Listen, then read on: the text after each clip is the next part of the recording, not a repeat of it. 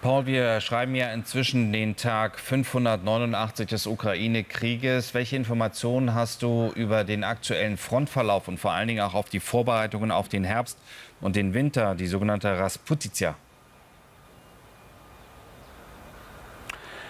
Also die Ukrainer sprechen erneut von leichten Fortschritten, leichten Gewinnen, aber es ist kein großer strategischer Durchbruch weiterhin zu erkennen. In den vergangenen Tagen hat sich da relativ wenig bewegt und natürlich ist die Frage, du sprichst es an, was passiert, wenn es jetzt ähm, in die Regenmonate bzw. in die Matschmonate kommt und wie weit kann man dann ähm, wirklich noch vorankommen. Die Ukrainer, mit denen ich spreche, die sagen, wir wollen auch dann weiter kämpfen, versuchen weiter voranzukommen.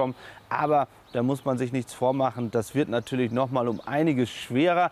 Und wenn man mit den Soldaten spricht, um zurückzukommen auf die Taurus-Meldung, dann sagen sie natürlich noch viel mehr. Diese bräuchten wir gerade auch jetzt eben, um aus der Entfernung russische Ziele zu treffen innerhalb der Ukraine, aber zum Beispiel Logistikzentren und Kommandostände. Also diese ja, Entscheidung oder zumindest, man kann sagen, Nichtentscheidung, dass sie momentan nicht geliefert werden, das sorgt natürlich auch bei den ukrainischen Soldaten für Diskussionen.